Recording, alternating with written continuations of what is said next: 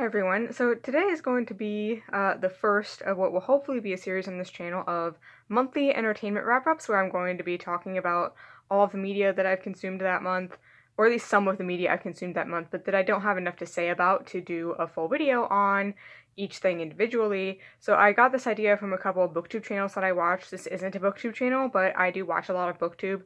So I, I got this idea as a kind of combination of the month of the weekly entertainment wrap-ups that Kathy Trithardt does on her channel, where she goes over all of the media that she consumed that week. They're great. You should check out her channel. And also from Mara at Books Like Whoa, who reads so much that she doesn't necessarily want to talk about every single book in her end of the month wrap up, so she will talk about just her disappointments, surprises, and hits. So I'm going to be taking that sort of structure that Mara uses and applying it to all of the media that I consume that month. And I will link both of their channels down below. You should check them out. I love both of their channels. They're both great if you are into books. Um, so let's just kind of go ahead and get into it. So I'm going to start with my disappointments. So my first disappointment I want to talk about is King of Wrath by Ana Huang. I've read from Ana Huang before, and I've had very mixed experiences with her books.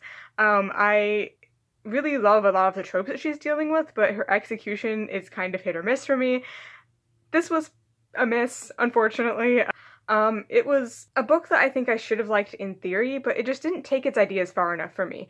I wanted it to be a little bit darker or a little more wholesome or something. It just felt very mediocre. It felt like everything it was doing, it was doing halfway.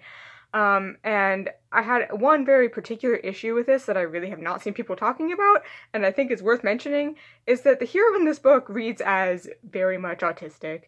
And as somebody who might be autistic, I don't have a diagnosis, but I think it's very possible that I might be. I related to a lot of those things, and I know that those things are associated with autism very strongly. Like, for example, he doesn't like his food touching. He takes everything super literally. I mean, not all the time, but it happens often enough. He doesn't experience emotion in a neurotypical way. Like, there's just a lot pointing to the idea that this hero could be autistic, but that's never mentioned in the text. The word autism is never brought up, it's never treated with the kind of care and weight that I think that representation of a marginalized group should be, and it actually ends up making fun of those traits um, or at the very least, the heroine is making fun of those traits, and I have some pretty significant problems with that because that, that's never really challenged or addressed or treated as a problem in this book, and I just, I really did not appreciate that, and I hope that doesn't become a super major consistent issue with Ana Huang's books, because I know that I've read Twisted Love, I've not read Twisted Lies yet, which may also end up having the same problem, I don't know, but Twisted Love also has a hero who reads as somewhat autistic, but it's a little bit less clear to me. This was like very, very obvious to me, um, to a point where I was like, this is literally an autistic character. You cannot convince me that this character is neurotypical, which I feel like is kind of an issue because it's not fully dealing with that reality of what it's like to live as an autistic person in the world and it's just treating those as like little personality quirks that can be changed or that should be changed or that it's okay to make fun of or tease him for or you know mess him up like threatening to give him a plate of food with the food touching which he doesn't like and treating that as if that's okay or messing up the way he has things organized in his house just because you're mad at him like I'm sorry, I don't care how much of an asshole he is. You don't get to do that. Like, you don't know how much that might be affecting him especially given that he has all of these signs of being neurodivergent, like that's just really messed up to me. And I really hope that um, if Ana Huang is going to continue to portray heroes like this, that she actually does address the fact that they could be autistic, because it's it's a problem. It's a problem in romance novels in general. This is one of the more egregious versions of that that I've seen. Um, and I, like I said, I have very up and down experiences with Ana Huang's books, and I'm going to be talking about another one later that I actually liked quite a lot better than this one. So it's not that I don't like Ana Huang or what she's doing. It's just this book really didn't work for me, and I think it might have suffered a little bit because I did read it very soon after I read the other book I'm going to be talking about, which I liked so much better. And when you read two books by the same author back to back, it can be so much easier to pick up on all of just the little idiosyncrasies they have, all the little phrases and lines that they use all the time. And some of that started to also grate on me a little bit, and I think that's probably partly my fault for reading this book so close to the other one. So I'm still really excited to read Twisted Lies. Um, that's the only one I haven't read that she has out yet, and also King of Pride. I haven't read that one yet either, and I'll, I'll get to those eventually. But I think I'm gonna try to put a little more space in between Ana Huang's books so they don't get too repetitive for me. Next, I'm gonna have two more disappointments. So the first of those I wanted to talk about is Batman White Knight with story and art by Sean Murphy and colors by Matt Hollingsworth. Uh, I really wanted to like this book a lot more than I did. I've liked other Elseworlds type Batman stories before. I just think that a lot of the draw of this is like, what if Batman but dark? Or what if, you know, we change the roles of the Joker and Batman as if that's never been done before? I don't know. I mean, and there might be elements of this that hadn't been done before this. That's fair. But I don't feel like it was that revolutionary to me. I don't know. And I also really did not love the implication that the Joker again, we're hitting the sanism, ableism type stuff again, where this portrays the Joker as if the only way that he can be a functioning, helpful member of society is if he cures his mental illness somehow. And that if he is mentally ill, if he is crazy or whatever, if he is really like, you know, the, the Joker, he can't be a productive member of society anymore. Um, and that those two things are mutually exclusive. And I have a pretty major problem with that because people who have mental illnesses, or even intense mental illnesses, mental illnesses that involve some form of psychosis or other things like that, can still be functioning members of society, or at the very least are not necessarily evil because of it. And the way that this book handles the Joker's mental illness really does seem it really does seem to me like what it's saying is that if the Joker is mentally ill in that way, that he is automatically evil. And that those two things are connected and cannot be separated. But that if he cures his mental illness, then he'll be a good person all of a sudden. He'll be a hero if he cures his mental illness. And I just, I really resent that. I don't think that's a good look. Um, I will say the art in this is pretty nice. I, I did like the art. And as far as like the way it's dealing with Bruce Wayne, it's nothing I haven't seen before honestly, Batman but Dark at this point is literally just what's happening in the mainline comics anyway. I want to see more stuff that's just what if Batman but not dark. I feel like that's more subversive than let's make Batman even darker. That's what we really need. Um, and there are some darker versions of Batman that I have liked. Um, if you're looking for something that's more of like a, a darker sort of Elseworlds version of Batman, I'd recommend Batman the Imposter, which I'll put the artist and and uh, writer information in the comment in the in the description below if you're interested in that. This just really didn't do it for me. I'm going to be talking about Harley Quinn a little bit later too, and uh, Harley Quinn does kind of a similar thing with the Joker, but handles it so much better. And I happened to end up uh, encountering both of those things very close together, so I think that might have also kind of hurt my uh, opinion of this because I saw a much better version of what that kind of story could be in Harley Quinn. Ultimately, other than that, I mostly found this book very forgettable. I was going to do like a full review of this, but by the time I actually got around to the point where I would have done that, I just didn't care anymore. I just found it utterly forgettable after like a few days after having read it. Literally everything that happened in this book left my brain except the stuff that I had problems with. So it just didn't end up standing out to me enough to make a full video about it which is honestly kind of a disappointment in and of itself. So next, this other one is something where it's not a bad book, but it just didn't super work for me personally. This is still something that I would totally recommend if you're interested in it. It just wasn't for me. This is Tell Me I'm Worthless by Alison Rumfitt, and this is um, a very queer book, a very trans book, and I think that it is a very important piece of, of, of, representation. It's also got a lot of really great things to say about fascism and about fighting fascism and how it pulls us apart from the people that we should be closer to, how it can make it feel harder to connect even with ourselves. Um, there's a lot of really great like thematic stuff going on in this book. It's just that the execution of it didn't work very well for me personally, but I do feel like it was a very effective execution of its ideas it just was an execution that didn't work well for my brain and the way that I am as a person. Um, one of the things with this book that kind of made it difficult for me to engage with and connect with is the fact that I'm asexual in a way that just did not make this book a fun experience for me. There's a lot of sex related stuff going on here that isn't really being romanticized or anything. So it's not like I was supposed to be like into it and I wasn't. It was more the opposite issue where you were supposed to be really kind of grossed out by some of the sex stuff going on in here. There was a lot of sexual stuff that was just like really intense and it just really made me feel super uncomfortable.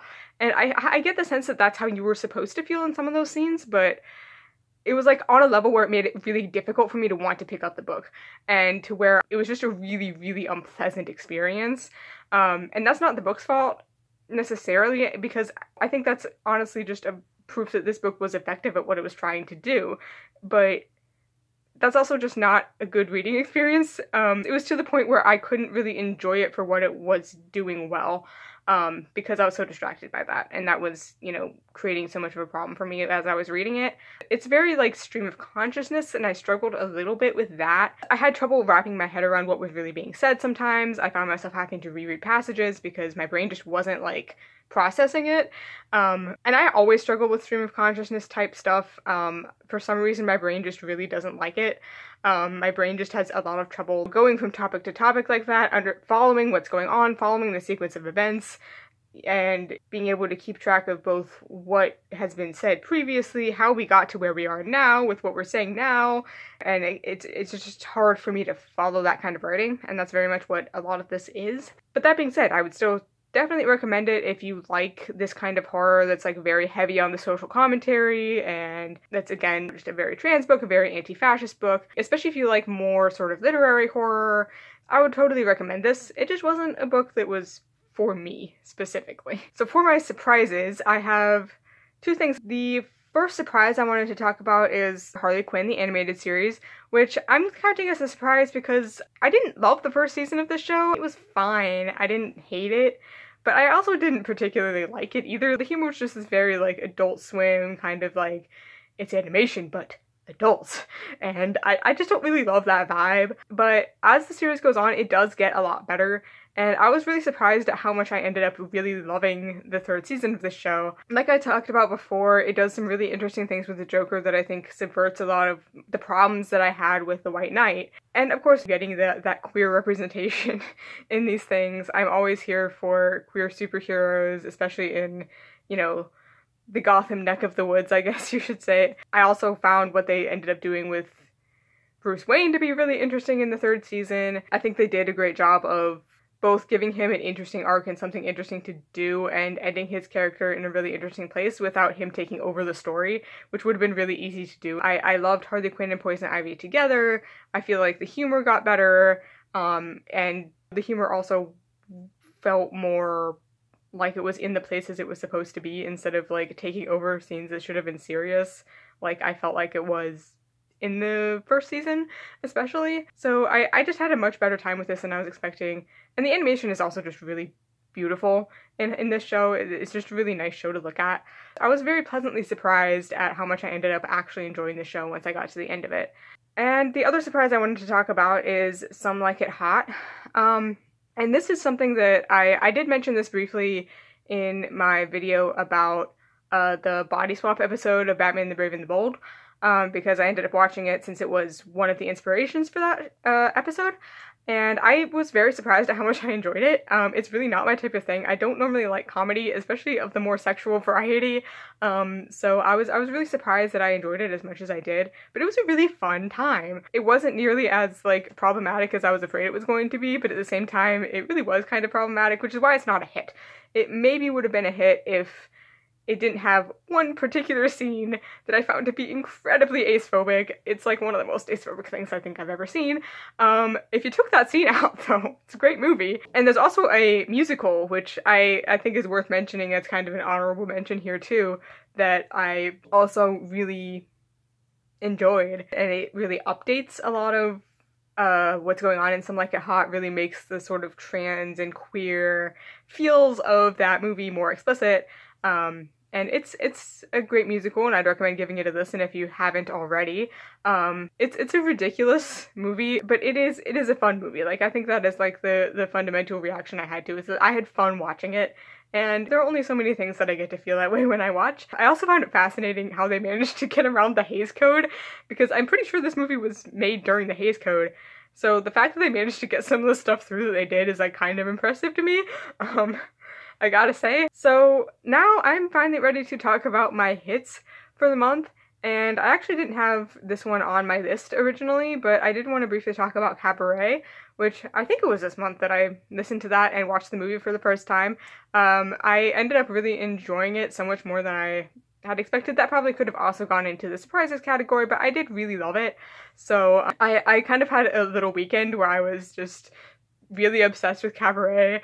I watched like a two hour video essay that David J. Bradley did on it, which I'll link down below, assuming I remember to.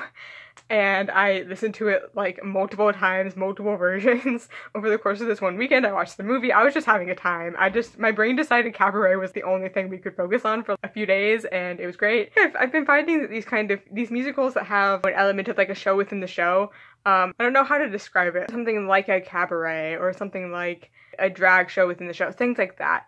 Um, even like Some Like It Hot, I think, falls into this category as a musical. Cabaret was quite good.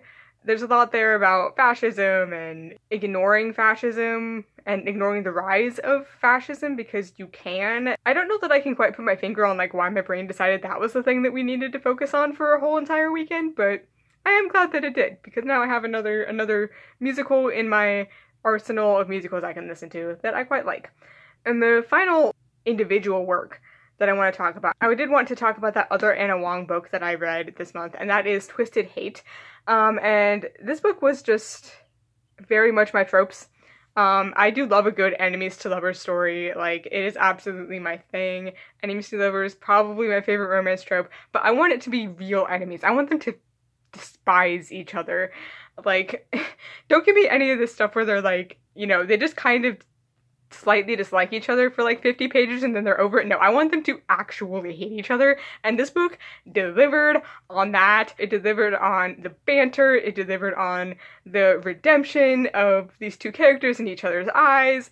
Eh, it was just so good. And this is a little bit less dark than some of Ana Huang's books, and the places where it is dark felt maybe slightly out of place to me. Um, and that's really the only complaint I would have about this. It is a long book, but it's got a lot in it. I think it's got enough in it that actually works for me. The miscommunication was made sense and I bought why she didn't tell him what she didn't tell him and why he reacted to that the way that he did. Miscommunication can be a difficult thing to handle and I think in this particular book Ana Huang does that so, so well. Definitely much better than is handled in King of Wrath, which that's another issue I had with that book, but we're talking about this book right now. We're going to be positive. So the other thing I wanted to talk about is the fact that this book really ha- has a very strong element of friendship, which I really love for a romance. I feel like romances often can end up implying that romantic relationships are superior to all other kinds of relationships and can end up kind of ignoring the other relationships that these characters might have in their lives. I mean, sometimes they'll talk about family stuff, but it's pretty rare that you get like a real strong element of friendship, and this book absolutely has that. Um, both in terms of like there, this whole series is framed around this group of friends, so we get some of that, but we also get specifically Josh and Alex sort of reconciling after what happened at the end of Twisted Love.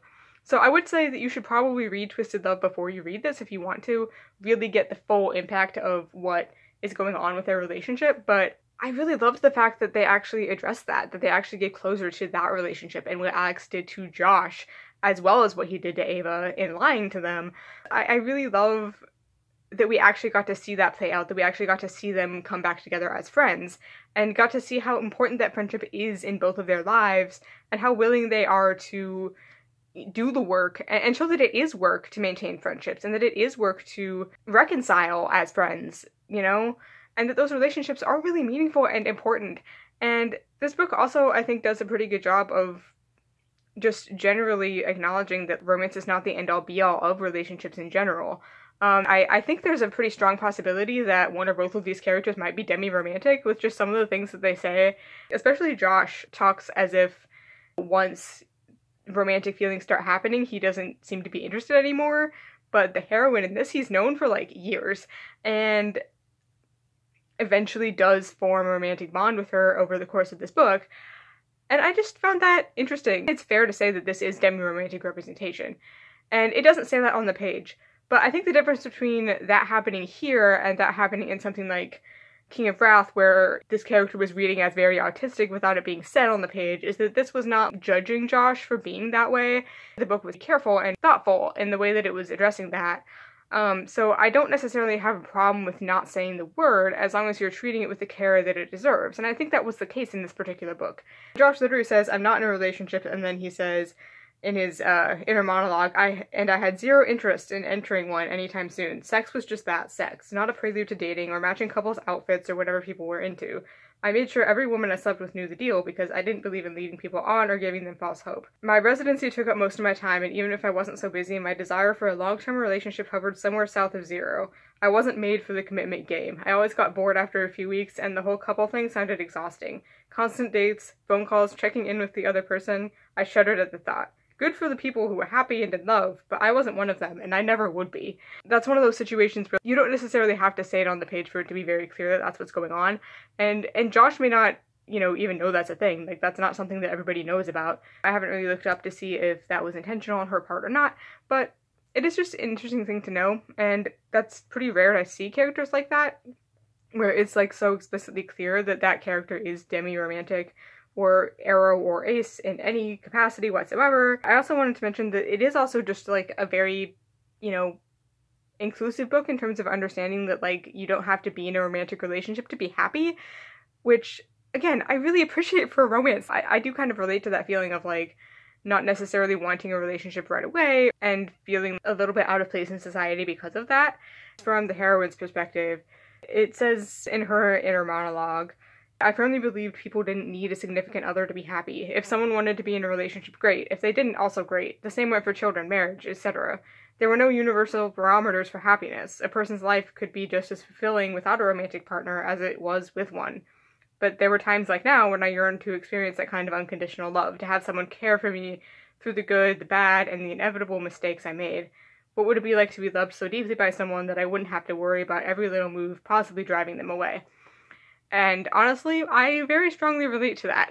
To that idea of both what romance is, but also the reality that I don't need that to be happy and neither do other people necessarily. And but if other people are happy, that's great for them, but not everybody has to have that to be happy. The happiness does not have to be defined by that. And I just I love seeing that kind of thing in a romance. I think it's really important for that kind of thing to be in a romance especially because of how often romance can end up privileging romantic relationships over like literally every other kind of relationship. Um, and the way that other media does that too. I definitely look forward to reading more Ana Huang and seeing which ones I actually love, like this one, and which ones I do not love so much. Um, because it seems like it's one or the other. Either I love it or I'm like really not into it. So it'll be interesting to find out how I feel about her books in the future. Um, and I think I've probably spent enough time on this. Honestly, probably could have done a full video on this book, but yeah, I just, I really love it, and I would absolutely recommend it. And finally, the last one I wanted to talk about is not like an individual work, just sort of a category of media, and that is fan fiction. I will probably only really talk about this once, even though I'll probably continue to read fan fiction. But I really got into reading fan fiction for the first time this month, and it's been a really awesome experience. I've pretty much exclusively been reading Batman fanfiction. My brain has decided Batman is the thing we're fixating on. I don't see that going away anytime soon. So I've been reading a lot of Batman fanfiction lately, and I've been loving so much of it. It's just like, it's so refreshing, especially in comparison to what happens in the actual canon of Batman. And you get to see so many different kinds of voices and so many different perspectives on this character, and I really love that. Like, I've I've cried more reading Batman fanfiction than the actual canon. I've been, you know, reading everything from smut to mafia AU to just general Bat family stuff. It's been a great time. I would absolutely love to get into writing some fanfiction, and I probably will at some point. I, I, I don't plan on connecting that to this in any way, but it's just it's a new world that I've discovered recently, and I've had a great time exploring it and just exploring all the different ways that people interpret this character, um, especially as somebody who does see Bruce as somebody who could potentially be queer in a number of ways, who kind of headcanons him as potentially being transmasc or asexual or neurodivergent, and seeing that other people feel the same way, other people see that in this character too, and and getting to see that those parts of myself represented in people's interpretations of this character that I relate to so strongly for those reasons. I've just really loved getting to explore that world for the first time, and I'm really excited to explore more of it. So that is all that I wanted to talk about today. If you liked this video, like and subscribe. Tell me down below what media you've consumed this month. Did you have anything that you loved, anything that you hated? Let me know all the things down below or what you thought of any of the things that I've talked about.